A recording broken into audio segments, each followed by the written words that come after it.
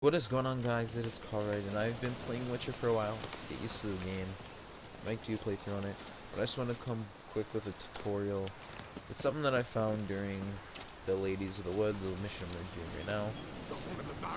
And it's this area, basically, I'll show you it on the map. So, it is called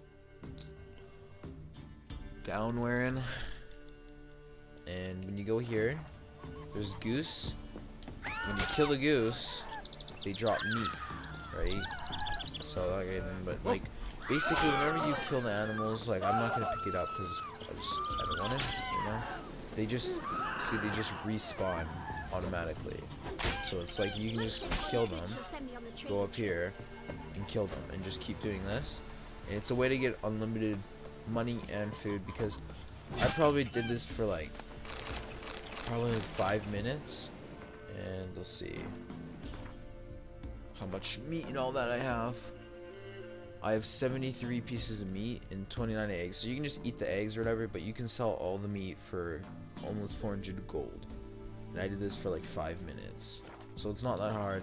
And if you need something like uh, sheep hide or whatever that the sheep drop, I don't even know. You just you got chasing fire. You can just kill them, and then they just respawn. You get sheepskin, and I don't know how much sheepskin sells for.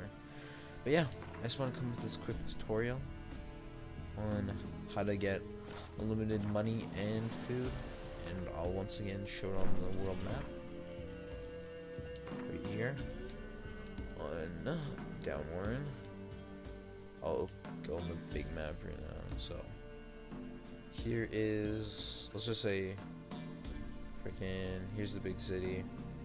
Just down to here. So thank you guys for watching. This has been ride. the quick tutorial. See you guys next time